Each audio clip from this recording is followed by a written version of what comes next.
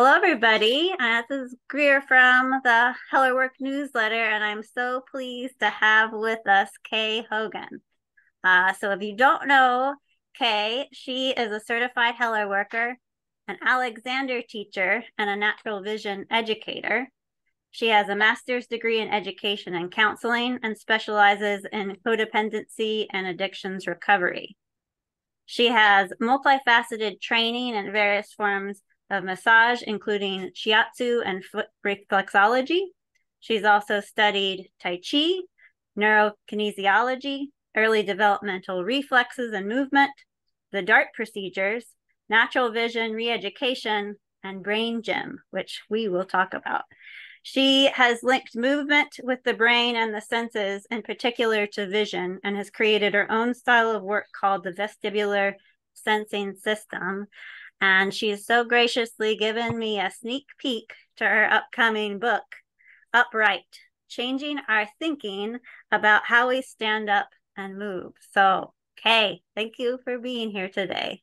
Oh, thank, thank you, Greer. this is exciting. and I love I, I love talking about this stuff. So me too. I can't wait. so to start okay. us start us off, you've coined the term vestibular sensing system. What is what is that? That's a good that's a good first question. And I'm going to shut the door because I hear someone coming in. Okay. Yeah, I'm going to shut the door. Sorry about that. Oh yeah. I I um when I teach uh um when I teach my students, I talk a lot about the vestibular system. And and originally I would say I would talk about the vestibular system, and I what I would say is, um, if you've ever even heard the word, what you think about is the ear, and uh, and also, yeah, yeah, in the medical profession, they talk about vestibular, and they're always talking even not even about the whole ear; they're talking about a portion of the ear. So uh, then I would say, so when I talk about vestibular vestibular system, the keyword is system that's not what I'm talking about. I'm talking about this, and then I would define it for people. And so when I when I first started working on the book, a friend of mine said, "You can't keep saying that. You can't keep saying, you know, that vestibular, but not what the med- how the medical people define it." So that I had to name it, and so I finally named it the vestibular sensing system. But how we stand up is through our senses, and through the vestibular sensing system, which is so the eyes are probably the most important part of the vestibular system. I'm going to define the vestibular system now. So the eyes, because we're more visual probably than anything else. And then the second part of the vestibular system is the ears, audio, how we hear. And I don't mean the two parts of the ear, I mean the whole ear through the vibrations of the ear. And the ears and the eyes communicate together through the op- through the optic and audio nerve behind the brainstem. So they're working together. And then what's the largest organ in your body? It's the skin. And so the skin is part of the vestibular sensing system, which means that in our skin, all through our skin, we have uh, uh, sensors. Right now, it's telling you that you're sitting, how you're sitting. It's telling you how comfortable you are. It's telling you whether it's too hot, too cold, if there's some. So it's amazing. We get an amazing amount of information through our skin, but we get the largest amount of information because of the hands and feet having the largest numbers of sensors on them. We get the largest number through the hands and the feet. And the ones on the hands directly connect to the motor cortex of the brain. But the ones on on the feet uh, directly connect to the visual cortex. So how we and and that's also how we refer to proprioception. So when your hands are down, it's uh, for balance, and it also gives us information about where we are in space. And so, and the feet directly connect to the visual cortex, which is why we don't have to look down to walk. So then we've got the eyes, we've got the ears, we have the skin, we have the hands and feet, and then the joints. And so the joints are constantly feeding us back information. And in most people, you've cut off some kind of joint, it has stopped registering in the brain. And so that's why we have problems with knees and hips and things like that. And so when you put all those things together, that's what gives us our balance and that's what keeps or should give us our balance and keeps us upright and alexander had a thing called false sensory awareness and he meant sensory so when one of those those systems are off it starts to throw the whole structure off even though different parts of the of the vestibular sensing system actually make up for each other so i mean if you were blind you could still walk you could still sit because the ear takes over and we've and, and if you read a lot of brain technology, you'll see how that works. Did I say too much? no, not at all. I think that's great. I think it's a great baseline and gets gets people interested and excited because you just really deep dive into the book and each of these sections, especially bringing in um, some of your other trainings as well, because you specifically did get trained um, and reflexes, the Tomatis method, Dart procedures. Mm-hmm. And I was thinking that would be a great way to, um, if you could deep dive a little deeper on what drew you to those things and what they are and why they are important. Well, well, my vestibular system was off. And I had read about um, the Tomatis method, which is a, a retraining for the ear. And I had always wanted to, to do that. And so after I finished my Alexander training, I discovered that in Lafayette, California, there was a Tomatis Center.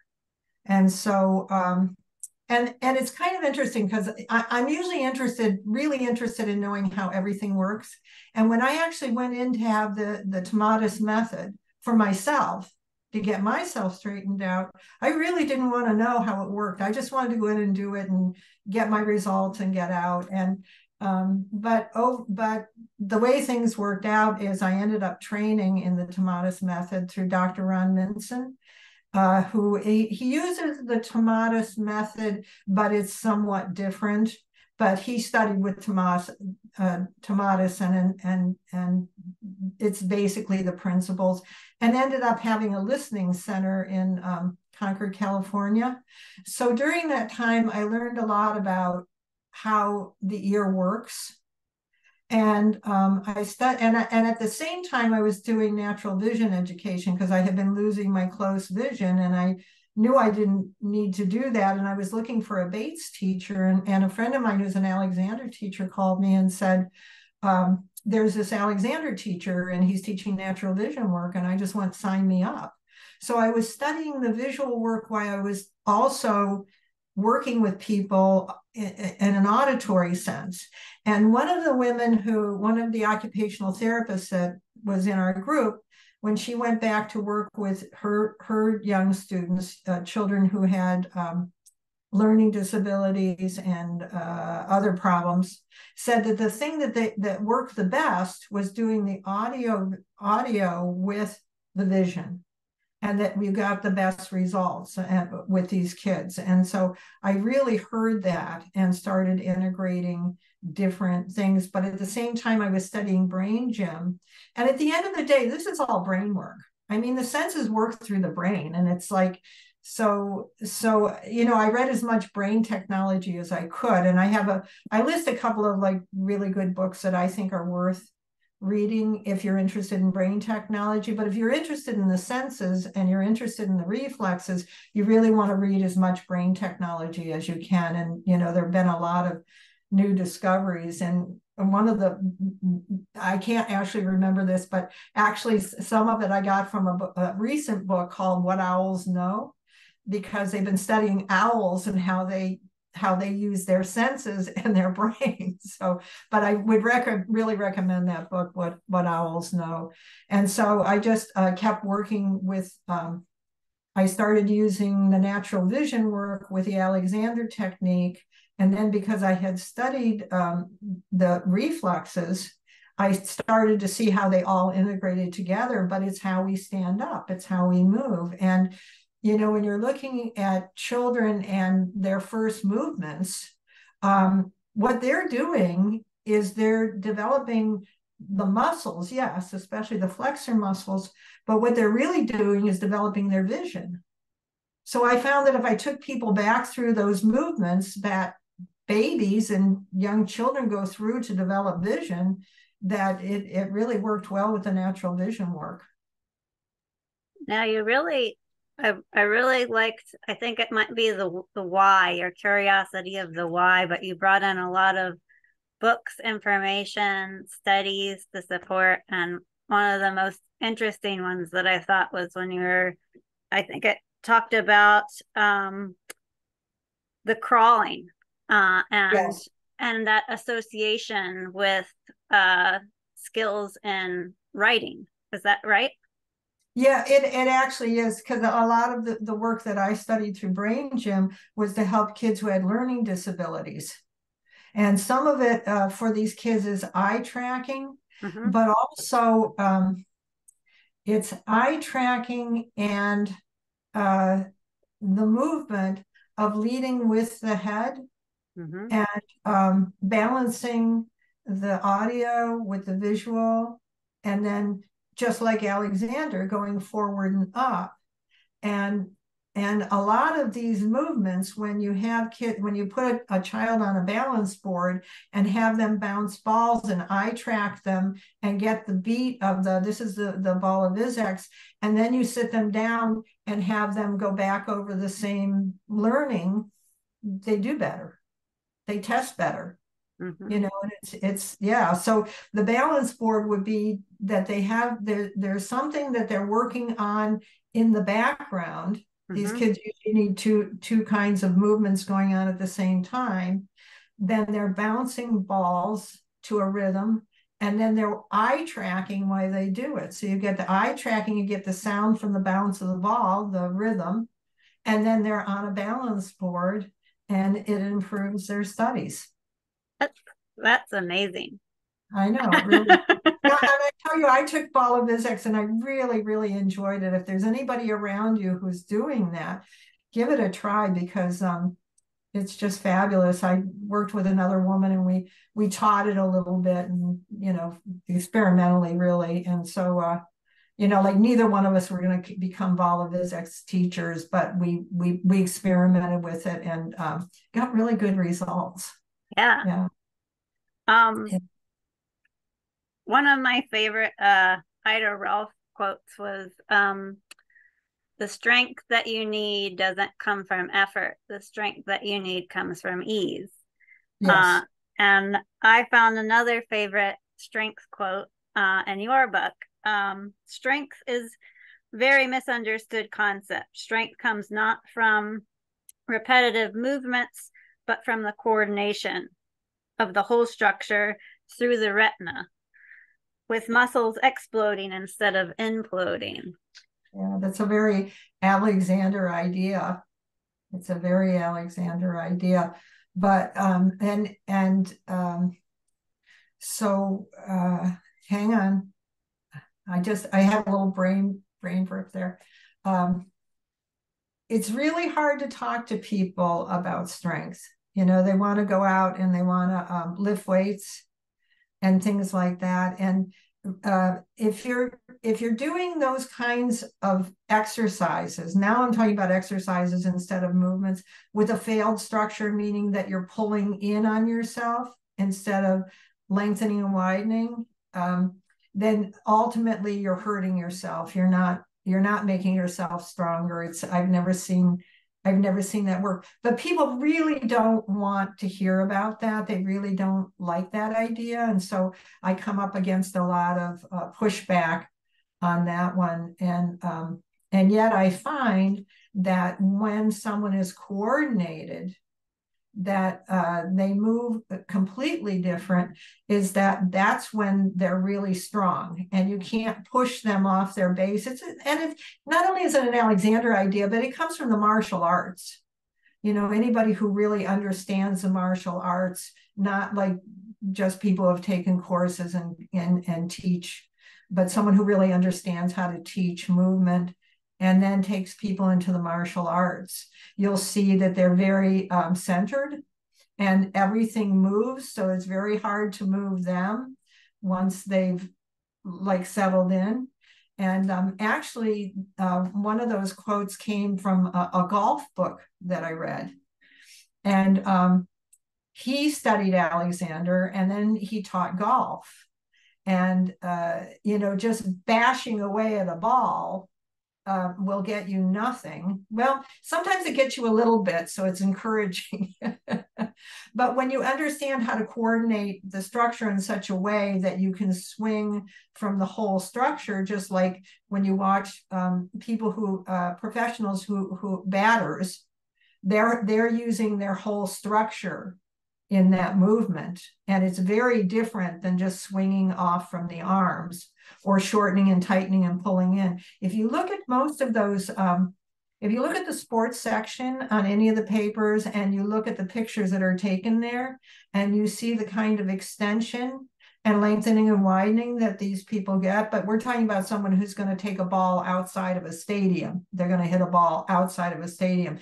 You'll see how coordinated they are and that when they hit, when they have good eye-hand coordination and they hit the end of a bat, that they can send a ball all the way. That's strength. Yeah. And so I really try and get people away from, well, what I really try and do is get people to take lessons and understand how to use themselves differently. And then if you want to go do any kind of exercise, it's it's a very different experience, including yoga, including yoga. um, I know. I know. Um, so when you say that it all comes through the retina, like when you were describing it, it it, right. it felt very much like our our session 10 of using the whole body and coordination. Yes. yes. But uh in my training at least I don't remember as much of the how the eyes come into play. Uh, and so I'm wondering if you can talk more about the importance I can absolutely talk about that. I wished I had started out with it, but you know, it's it's peripheral vision. And once you lose your peripheral vision, you get your peripheral vision through the retina of the eye. And once you start losing peripheral vision, which means this happens. So when when you see perif- people lose peripheral vision, the head comes forward and they collapse in the front. And then what they're going to try and do is stand up from here when you really have to come up from here and stay in peripheral vision. And then there's a thing called panoramic vision, which gets you up even better, but it's also where our balance comes from. So when you think about Alexander work and natural vision work, you're talking about neck head relationship. And I always thought it was so interesting that Ida Rolf said, you know, the, the, the neck tells the story of the whole man and so and she was absolutely right. And and um, i think alexander teachers this is a big opinion so I have to be really careful with this but you know i just think they need to go up higher. And the whole third back of the brain is for vision. That's your visual cortex. So if you're not starting from up here then you've then you're not going to get what you want below. And the way you have to do that is through the eyes and so we go into, um, I teach people how to, to, to regain their peripheral vision and how to work the visual pathway. And it excites the visual cortex. And then Alexander said you have to lengthen and widen the whole back. Well, the whole back isn't here, it starts here. And so if you're not including the visual cortex and peripheral vision and panoramic vision, then you're not going to get as good a result as as you could. Is that helpful? Did that? yeah, I think that's uh, I think that's fascinating, and I really like to uh, because you've studied so much of early development. Yes, and you even talk about um, developing some of these senses. Um, for example, the auditory and the use of the sucking in the mouth, like in utero, right. birthing process, and some of those first movements with children and how important that is. Right. Uh, uh, and I was wondering, one, if you could share a little bit more about that because I found that really interesting. And and again, you kind of touched on it before, but why you bring that back, some of those first movements with adult clients and why that's right. important. Well, it's interesting because I had a client yesterday and I was interviewing her, and I always ask about the birthing process. you know and in utero um, the baby has all of these movements that it goes through if, if, if things are going well. And they do movements that that they won't do again until much later. They don't come out but they rehearse them in the womb. I just i have a fabulous um, cd of of that of them doing things like pincer movements they open and close the eyes sometimes they'll suck uh, they actually suck and will suck the top of the uterus and things like that. And then the birthing process is so important um, to to development of the structure because they're how they come through the the hopefully they come through the vaginal canal and this twisting and turning not only does it release hormones but it also starts the the development of, of the muscles and the structure. And uh, nowadays we just you know it's they're t- I think they're too quick to like to do cesareans. And it doesn't mean the kids won't catch up. It's just it's slower for them. Yeah, healthy kids usually will catch up over time, but they're not going to come out with the same. Um, they won't be the same as the kids who come through the birthing canal and have the rotation of the head and so forth when they come out. And um, so, uh, and and then the movements that they do early on, it's pretty interesting to me um, during the summer, I worked on two people, someone who grew up in Moscow and someone who grew up in China. And th- this woman um, who grew up in China has this gorgeous uh, torso, and um, and her fiance, who grew up in Moscow in a very Western uh, situation, the difference was one had baby furniture and one didn't. So the kids who were left on the floor, who were left to their own, and the kids who end up in our style of baby furniture and things like that have have they get a different result by the time that, that they're adults. It's really interesting to see the torso. Um, you don't see torsos much on western people. Um, i don't even know how to explain that at the moment uh, other than if i had a picture i could show you the difference. And uh, so so kids if you infants, if you leave them to their own, have a whole set of movements that they go through. Um, there are names for most of these infant reflexes because we're designed to move in rotation. And say they do it mainly through rotation, but the reason they move is to see more. So they're developing their vision, they're looking up and they're looking up and then they're looking down and they're looking up. And what are they doing? They're developing their close far vision. But not only are they developing their close far vision, but they're also getting the flexor muscles in the front to develop so that then they can crawl forward. And, and then from the crawling forward, they don't actually stand up, they actually crawl up something. And now they're standing. And so, you know, I've had people send me pictures of their children who um, they're having problems in the walking phase. And it's like, oh my gosh, stop trying to help them. Just leave them alone. Let them be on the floor and let them work that out because they really need to work that out for themselves. And then also get them away from a lot of these jump seats and things things like that. Some of it's good. You know, the rocking, the rocking is really important. Um, rotating, all of you know that that kind of thing and then put them in slings keep the whole back rounded you know these upright but if i start talking about the things that I see in our culture and baby furniture and shoes like that, I just we'll just like plan to be here for the rest of the day. but but but honestly, the easiest thing to do is to like leave, you know, just basically leave them alone and let them work those things out. So again, when I realized that what they were doing was working out their their vision, Dr. Raymond Dart said the only reason we ever stood up was to see more. And so that's what they're doing. They're looking and they're trying to find, and they love motion and they love color, and they will follow that. And then the body follows follows what they're seeing, which is interesting. So if I want something that's up there, I'm gonna crawl up there and get it. Next thing you know, they're up. And so that's that's what's happening through the reflexes. And I found that if I took my visions to well, I take all of my students back through some of those early developmental movements. But then I also realize, can see how the whole body is designed to move in rotation. And so it helps people to get back the rotations that they've lost in their own structure and anything that what will rotate will go up right so here we are we're going up and the neck was never I, I probably say this all over the book i can't stand to read my book anymore because i it took you know i had to read it so much when i edited it but the neck was never designed to turn the head and i always say that twice with, with all of my both my students and my clients and it's from the atlanto-occipital joint through vision. So my eyes go, then my face goes. And then if I don't tighten into this structure, it's just designed to go up, to rotate, to go up. But then that would completely take me up.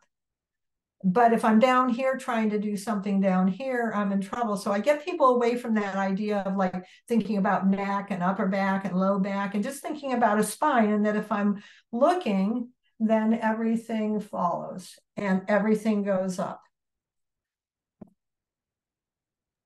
With your, so you have some clients that do Alexander natural vision work, uh, some clients that do Hellerwork, some clients that do both. Uh, what are some of the things that you notice with um, those that do both? versus those that yes. just do so one or the I other? I have a guy who I have a, a gentleman who has um, Parkinson's disease, and what he does is he comes for a lesson two weeks in a row, and then he gets body work. Am I curing Parkinson's? No, but he can still move and he stands up beautifully considering the fact that he has Parkinson's. So, in an ideal world, people always say, Well, if I had unlimited funds and I could do anything I want, how would, like, what would I do? And it's like you do a lesson a week for two weeks in a row, and then you'd have a bodywork session. But what I really like to do is I really like to have people do the bodywork, get the series, and then and then work on lessons to get them moving differently so they don't get back into the situation that they came in. But i think it's really important to free up the fascial layers first and to to and i've you know everything i've read and seen my whole career ida rolf like really developed the series that i use and i still use it and i still think it's just like brilliant and so and getting getting the length of the muscles going getting the the muscles off the bone getting people ideas already of how to like move and keep what they have um, is my first step. And then i'm always trying to talk people into lessons. And i don't and i don't separate the vision lessons and the and the um, and the um, alexander lessons because the visuals pathway supports the structure and the structure supports the visual pathway. So if you're going to do natural vision work, we have to really get you moving in such a way that you can use your eyes differently. And if you come in because you have a structural problem and you want lessons, we can't like skip the visual work. I mean, they're inner, you can't they're the same thing. So all of my students get vision work all of my students get movement work all of my vision people get movement work. And so but my my first thing to tell them is like get a series. If you can get a series get a series. Unfortunately though I one of the things that I found is people who love body work don't want to do the movement thing, and people who love the movement thing are like, no, I just you know I really like my lessons. I get so much out of them. Blah blah blah. So so it's it's kind of hard. But like in a situation where my my student has Parkinson's and he's come for a long time, and you know he really can spend his uh, money on that because there are you know having Parkinson's it limits a lot of you know like what he does. So he'd be a good example. And I'll tell you, Parkinson's, Alexander's fabulous for people who have Parkinson's and a lot of those nervous disorder, disorders. Mm-hmm. Yeah. Yeah, I um I really hi girl. I schnauzer. Come on, he can sit there with you. Let's see if we can get her. Oh, there. Well, she's blurred out.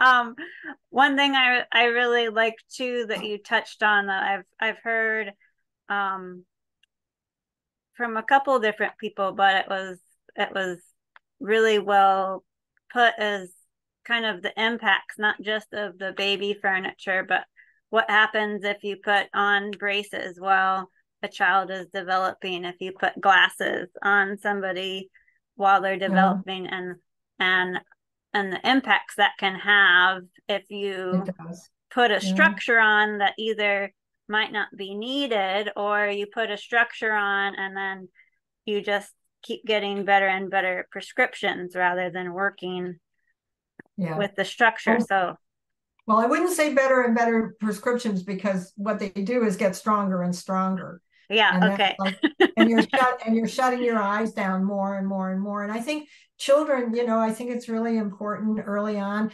So I'm not saying all children. Okay, there are kids who actually need glasses, but probably very few. And uh, and actually, my vision teacher, Peter Gunvald, had like the Coke bottle glasses when he was little, and you know later on in his life worked worked his way out of glasses. But but kids, you really uh, uh, really want to leave them alone again, and uh, even see. I don't think they should be testing. This is opinion here that they should be testing them so young. And if they don't see well, they should be just moved closer to the blackboard or or whatever. But what kids do need to develop their vision is to rock, rocking, rolling, hopping, skipping, roughhousing, and unstructured play.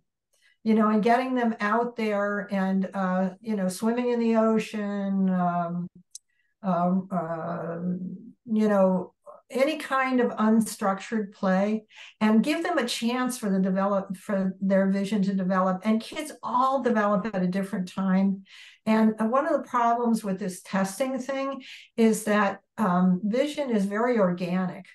So what that means is that you know if you had a wonderful weekend and everything you did worked right and you got up on monday morning your eyes are pretty good but if you had a terrible week and it's Friday and now you're going to go in and have your eyes tested, you're not going to get the same test that you would if you had gotten up after a wonderful weekend and relaxed and things just went your way because it's very organic. So it would depend on what time of day you were tested. It's like the testing is not everything. And so, you know, I encourage people who call me about their kids, and, and I'll tell you who calls me about their kids. It's not Americans it's usually people from other countries who use more natural medicine. And like even the american guy that who called me about his daughter because she was up on her toes i mean he grew up in mexico city. Um, we tend to use more allopathic medicine and you know we trust we trust that kind of stuff. Um, but when they call me it's like i usually say just give them a chance you know take the glasses off and give them a chance. But i guess my biggest thing is the sunglasses thing especially for kids because you don't want to shut the retina down and that's what it does. And then you need darker and darker and darker glasses and you really want the eye to function the way it's designed.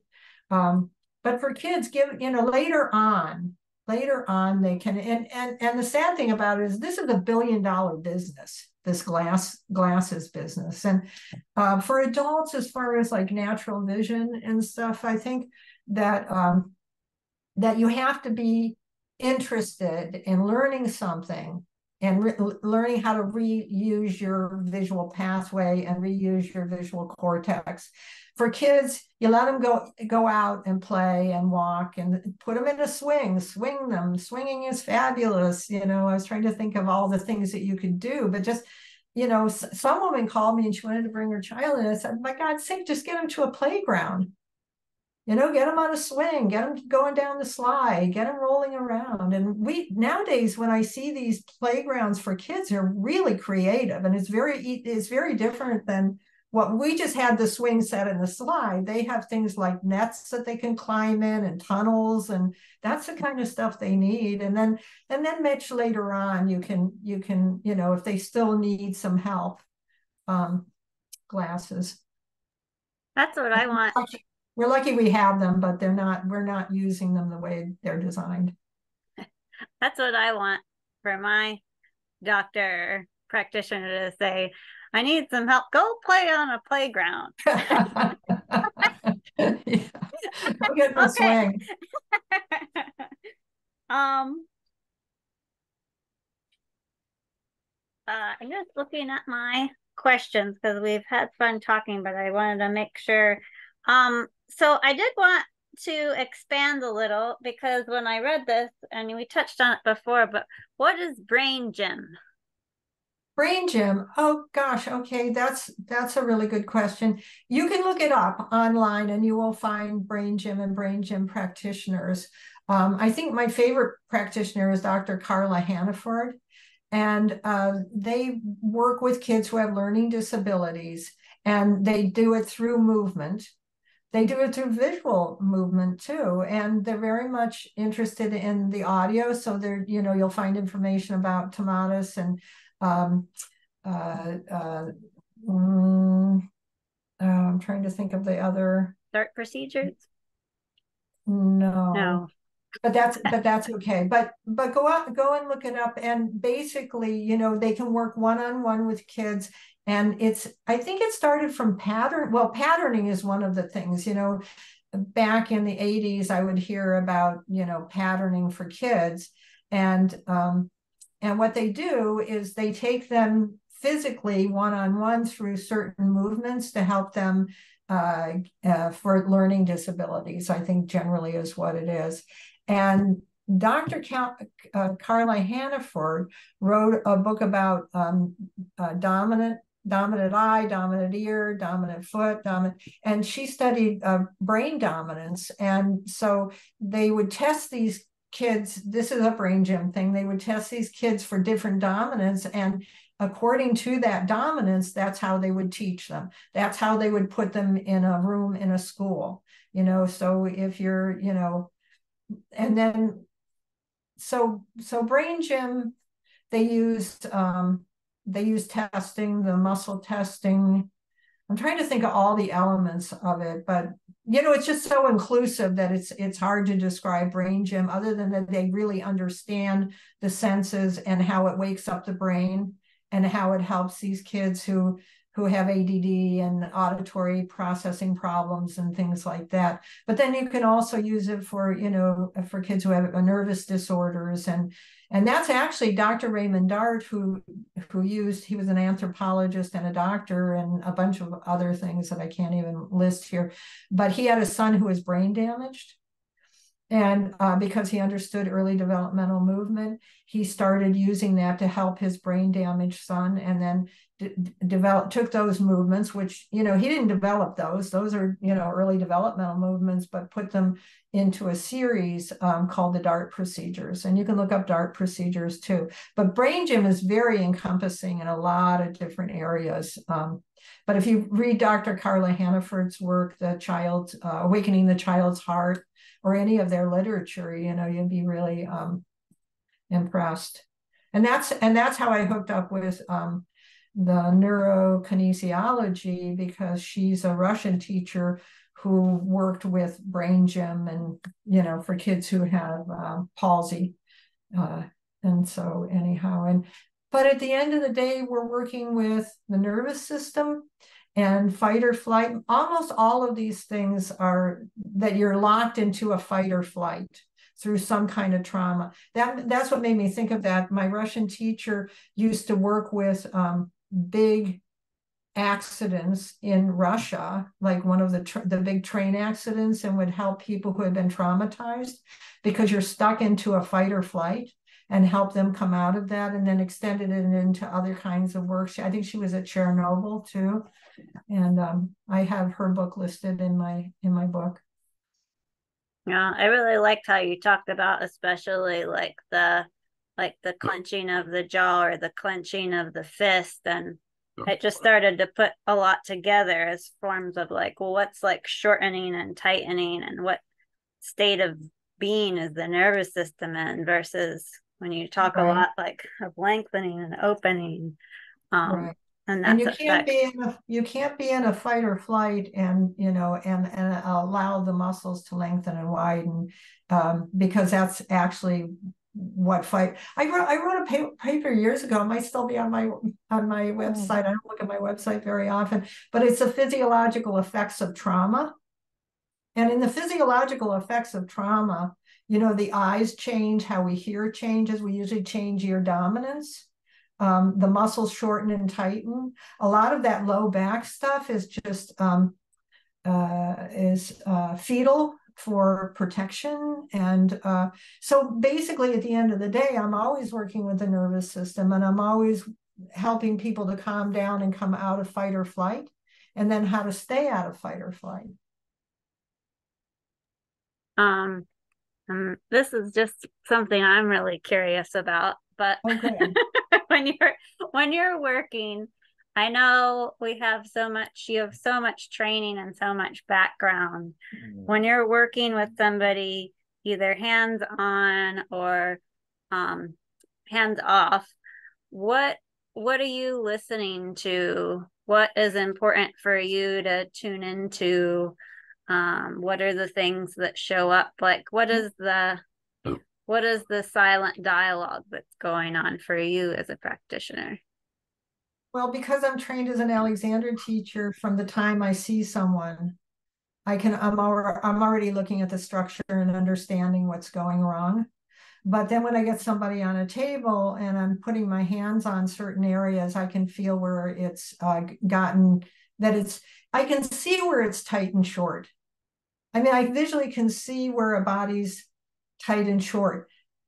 And then I confirm it by getting my hands in there when I'm doing a Hellerwork session and see, yeah, it's all stuck here.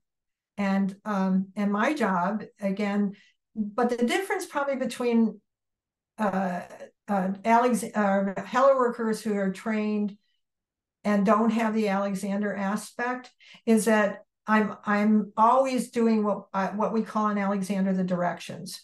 So it's very specific directions, and then I added the the um, the um, uh, rotations to to that material, and I'm always take try, trying to take an area in back into its more normal position, and then seeing what happens. And on someone like I work on someone who's in his 90s, and I and I actually don't take his leg back into position because it's been there for 90 years or something like that.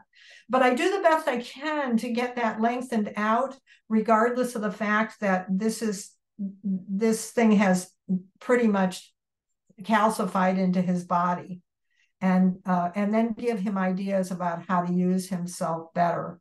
Um, but I'm always tracking. You know, I don't I don't know how to not track anymore. I'm tracking everything and I have I have someone coming in today, and because all of the the, the because she's in her 80s and she's got a bad back and she wants some lessons, I'm going to do very little. I'm going to do I'm going to just do very little with her because if I can because if I can get one idea across and it improves something, she'll stick with it. If she finds one thing there, and the best thing I can do is to like back off because I see everything. It's like, oh, let's let's fix it. Let's fix all this, right?